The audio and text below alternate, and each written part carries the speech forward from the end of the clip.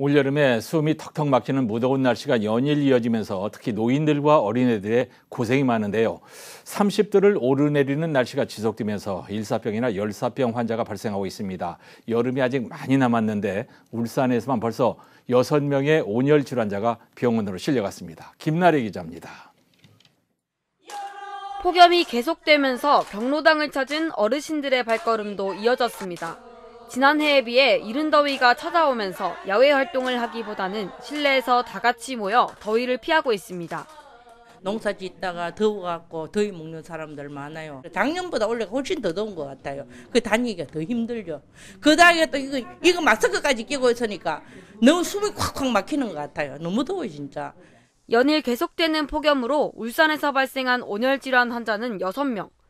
폭염에 취약한 고령자와 독거노인, 야외 근로자, 만성질환자와 어린이는 온열 질환에 특히 주의해야 합니다.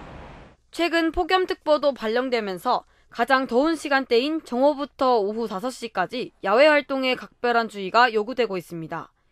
외출 시에는 양산, 모자 등으로 햇볕을 차단하고 헐렁하고 밝은 색깔의 가벼운 옷을 입으며 샤워를 자주 합니다. 또한 가장 더운 낮 12시부터 오후 5시까지에는 실외 작업을 피하고 휴식을 취해야 합니다. 온열 질환은 뜨거운 날씨에 오랫동안 서 있을 경우 두통이나 어지러움, 근육경련의 증상을 불러올 수 있습니다. 갈증이 나지 않더라도 물을 자주 마시는 습관을 가지는 게 중요합니다. JCN 뉴스 김나래입니다.